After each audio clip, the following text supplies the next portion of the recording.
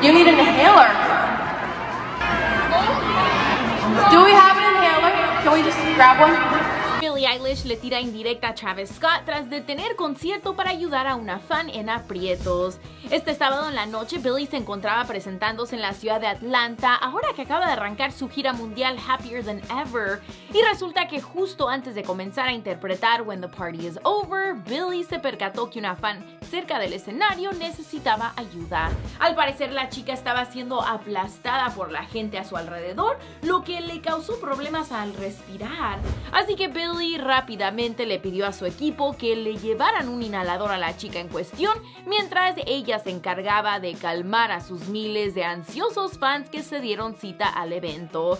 Y fue en eso cuando Billy aprovechó para tirarle esta indirecta a Travis Scott.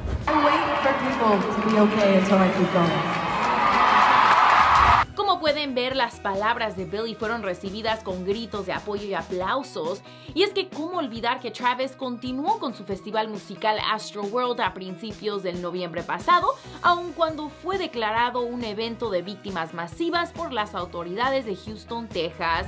Aquí lo curioso del caso es que Billy fue quien terminó por reemplazar a Travis como uno de los artistas principales en Coachella de este año.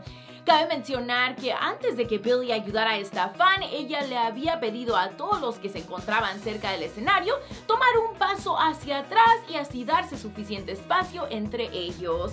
Asimismo, les pidió a todos que respiraran hondo e incluso hasta les recomendó sentarse un rato.